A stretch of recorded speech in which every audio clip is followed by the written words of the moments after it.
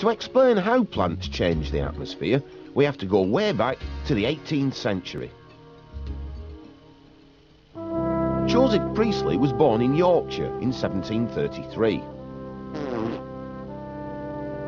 He was famous for doing experiments with air. In one experiment, Priestley left a candle burning in a sealed jar. He reckoned that the candle eventually went out because the air inside the jar had been changed, so he called it fixed air. In fixed air, a burning match would go out straight away.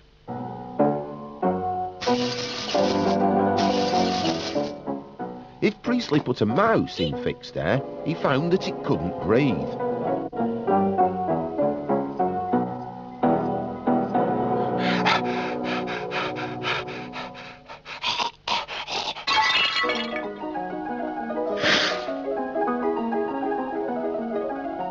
Priestley wanted to know why a mouse got into difficulties if it was given fixed air to breathe.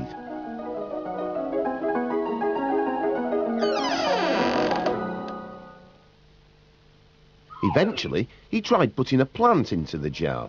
Unlike a mouse, a plant could live for a long time in fixed air.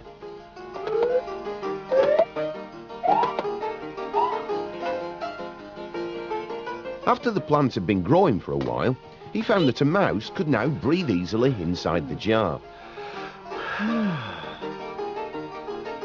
Not only that, but it was now possible to burn things in the jar. After this experiment, Priestley understood a lot more about air. We know now that it's a mixture of several different gases, including carbon dioxide and oxygen.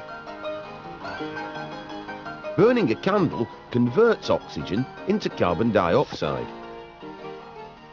Fixed air has no oxygen left at all. A living plant converts carbon dioxide back into oxygen.